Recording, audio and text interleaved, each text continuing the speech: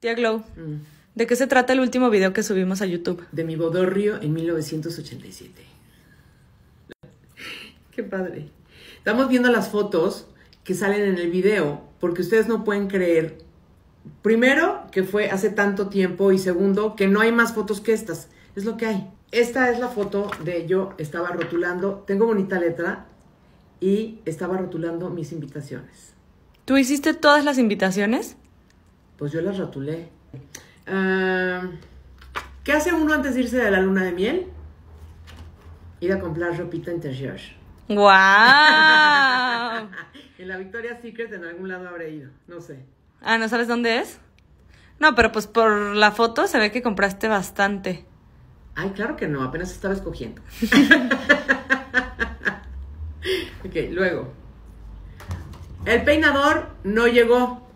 Me tuvo que peinar Gabriela, mi hermana. Pobrecita, y ni me alcanzaba. Ah. ¿Y cómo fue el peinado? O El sea, como media cola. Es media cola con este moño, por favor, buenas tardes. He aquí. ¡Wow! Algo sutil, ¿no? Sí, light. Sí, claro. Muy ochentero, eso sí. Ah, sí, está muy bonito, la verdad. Esta es la foto de más cuerpo completo que tengo de mi boda. Ah, y esta también, mira. Aquí. Gaby me estaba ayudando a poner el vestido.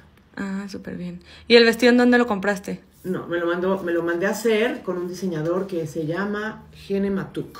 Después les voy a enseñar de mi... Ah, esta es mi despedida de soltera.